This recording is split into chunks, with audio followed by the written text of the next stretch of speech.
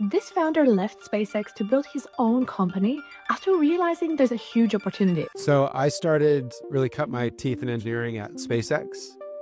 Everyone knows who that is, but when I was there, not a lot of people did. And in the electrical engineering and avionics design, and we are always trying to like reduce weight. Weight is additional fuel, fuel is additional cost, and wires were a significant portion of a spacecraft or a rocket weight. So the idea was how do we eliminate the wires and try to do both data and power without wires. And data is pretty simple. You can consider Wi-Fi or Bluetooth or all the existing standards for wireless communication, but power is more tricky. This is John Neidl, CEO of Theon Technologies. They have developed a system of charging things remotely.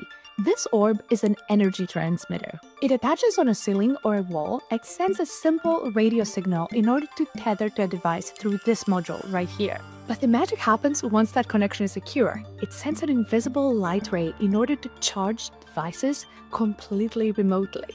This is huge news for anyone with a phone that hates charging cables, but it's even bigger news because of this. Our customers are mainly in industrial factory, commercial real estate, or hospital slash medical environment spaces. So you got to imagine the kinds of devices that operate in them. And with our ability to scale up and down the power, we're able to charge devices like cameras and mobile phones, but also small robots. Future generations and improvements always rely on energy efficiency. Think about how wireless charging is going to change the factories, hospitals, cities, and homes of the future. But are you ready to say goodbye to this?